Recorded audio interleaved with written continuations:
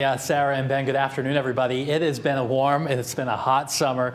Everybody knows it, but believe it or not, in our record books, we're actually coming very close to the end of it. Meteorological summer is considered June, July, and August, the three warmest months of the year. And in the Hartford area, numbers are pretty impressive. We actually have a long record book that goes all the way back to 1905. And our average summer temperature in Hartford, 71.9. But look at this year. 74.1 is the average temperature in the Hartford area if you take all the high temperatures, all the low temperatures each day, and average them together. And look at where this stands. It's actually on the list of warmest summers on record.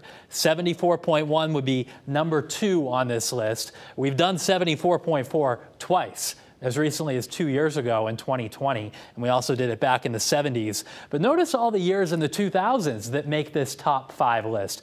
Very impressive, and that is definitely a sign that our climate is warming. Our summers are getting hotter here in southern New England. And here's another example of how you can see this too. The coolest summers on record, most of them decades ago. So our summers are warming around here, and it's not just the afternoon high temperatures, it's the overnight low temperatures that are getting warmer too. And when you average all that together right now, we are on track for one of the warmest here in the Hartford area so far this year.